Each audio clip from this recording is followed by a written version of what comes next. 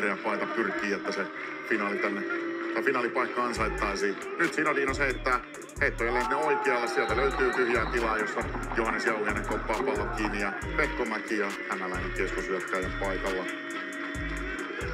Heitto peli jälleen kerran ja nyt Kidner tavoitellaan sieltä maalialueen kulmasta ja sinnehän on päätynyt touchdown Helsinki Roosters hetki kuluttua hidastuksesta, miten Kidner sinne päätyy noin vapaaseen. Joo, ja tässä nähdään, minkä tasoinen kuviojuoksija hän on. Että hän pudottaa sit-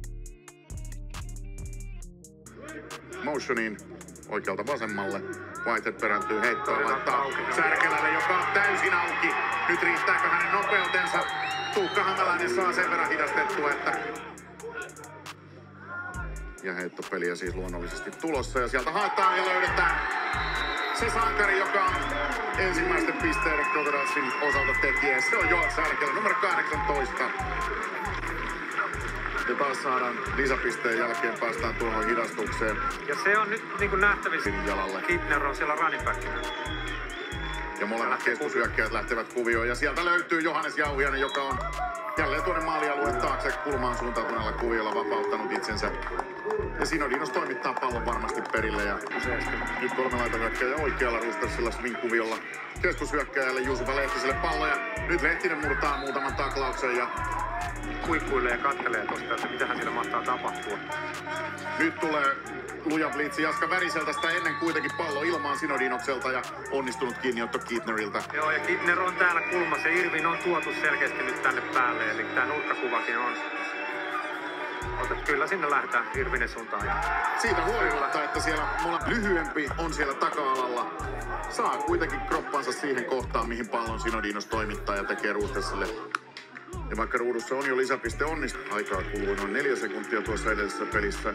Nyt se pelataan sinne samaan tilaan Danny Kidnerille, joka näyttää omaa atleettisuuttaan näillä pyörähdyksillä. Ja todellakin Danny Kidner, Paakariliikan yksi parhaita laita hyökkääjiä saamaan sen maali aikaiseksi. Ja nyt lähdetään Kidnerille sinne keskelle ja Hieno. sieltähän Jaska Värisen edestä ottaa pallon kiinni ja Tektarsille tilanne nyt 7-26. ja jollain lailla niin kuin, että, Nyt on hieman tavanomaisempi muodostelma, josta Jusufa Lehtinen lähtee vielä sivuttaisliikkeeseen.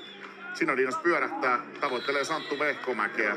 Ei saa palloa Santtu haltuunsa tällä kertaa. Ja edellisessä lentopotkuun päätyneessä tilanteessa Irvin oli vasemmalla puolella. Nyt ollaan Joo. heittämässä ja sinne mennään Irvinin suuntaan. maali. Todella, todella komea kuvio. Irvin pääsee sieltä aivan vapaasti etenemään maalialueelle saakka ja sinne pallon toimittaa. Numero kolme Severi Whitehead. Kuusi lisäpistettä Ja pallot on. Ja lisäpisteyrityksessä. Ja pallo komeasti sieltä koko katsamorivin yli. Laskenen päälle toi huomattavasti lisää jaardeja Crocodilesille ja nyt niitä tuo Roostersille Ville Hämäläinen, joka löytää juoksutilaa ja aina 20 sisäpuolelle syöksyy Eric Irvinin taklauksen seurauksena. Nopea muodostelman vaihdos ja Sinodinos Liikkiä varmaan. pelirakentajana sinne alle ja sieltä yltä Danny Kidner Kyllä. ojentaa itsensä maalialueelle ja siinä vaiheessa, vaikka Arttu Tapola omalla liikkeellään ylittänyt tuon maaliviivan, niin se peli päättyy siihen ja syntyy touchdown. On hieno nähdä näitä vanhan ajan hyppymaaleja. Kyllä tää Ruustersilla ei ole on, on. lentopotkuja tarvinnut tänään laittaa ilmaan. Ja Tietysti Oskari Toijala puolestaan vartio Viljami Koskelaa. Pavolille pallo ja keskeltä tullaan. Keskeltä tullaan pitkälle. Mennään aina 35 jäljin linjalle Pavolin juoksulla. Uudet yritykset Koskelan vierelle. Hyökkäyssuunnasta vasemmalle. Pallo liikkeelle ja sieltä löytyy Janne Särkelä täysin vapaana Ben Prasotsinin takana. Ja Särkelä tekee myös touchdownin ja kaventaa jälleen kuudella pisteellä tuota Ruustassin johtoa. nähdään mikä toi kuva oli, koska toi putosi kyllä ihan täysin. Samaan aikaan William Lionel kuvan ulkopuolelta 10 pisteeseen. Potku on hieno. Ensimmäinen yritys Roostersilla.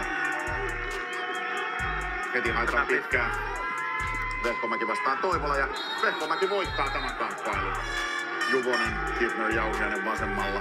Oikealla Santtu Vehkomäki, joka kurottaa hienosti tuohon heittoon ja tienaa ensimmäiset yritykset Roostersilla. Ei löytymään. Nyt Danny Kidner oikealla. Kolme laita hyökkääjä bunch muodostelmassa vasemmalla ja nyt mennään oikealle ja siitä huolimatta, että jälleen kerran siellä Annessi Adis on hienosti paikalla, siellä on myös Danny Kidner, ottaa jo neljännen kiinni, ottaa touchdowninsa tässä päätöksen taustalla. Osittain Sinodinos itse vasemmalta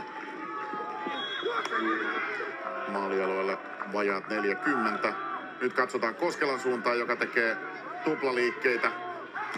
Ottaa lopulta pallon kiinni uusissa yrityksissä. Tuossa keskellä ovat kyllä varsin hyvän pelin pelanneet tänäänkin. Ja nyt Whitehead laittaa pallon sitten Viljami Koskelalle, joka on jälleen juossut komean, komean kuvion. Nyt ensimmäinen yritys. Jardimatkaa maaliin. Pallo Christian Powellille. Ja maali. Touchdown Seinäjoki Crocodiles. On tämäkin kliinistä. On se. Paikkaa muodostelmassa. Whitehead perääntyy. Laidalla on laitettu sieltä tuottamaan painetta ja nyt Whitehead joutuu astumaan siellä taskussa eteenpäin ja astuu siten, että syötön katko syntyy tästä pelistä. 13 Danny Kittner. Se oli neljäs yritys. Niin, piti juuri, juuri sanoa, että Kittner tietysti kaunistelee tilastoja. Hän saa tästä kauden toisen syötön katkon, mutta 39 jardin mittainen potku tuosta potkupisteestä onnistuessaan.